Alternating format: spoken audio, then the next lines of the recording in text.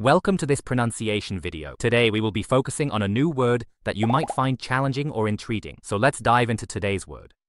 Nia, which means near in Japanese. let's say it all together. Nia. Nia. Nia. One more time. Nia. Nia. Nia. Thank you for joining us on this adventure in pronunciation. Remember, language is a journey, not a destination. Keep exploring, experimenting, and expanding your linguistic horizons. We'll see you next time.